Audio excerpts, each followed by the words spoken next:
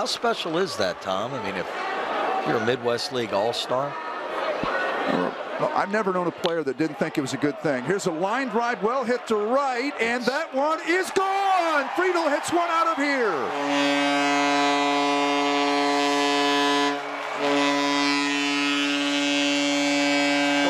There's one man that'll give Scott Moss a run for his money for player of the game, TJ Friedl. He is a double short of a cycle. Don't know if he'll get another at bat, but he is a double short of hitting for the cycle with a triple, single, and home run.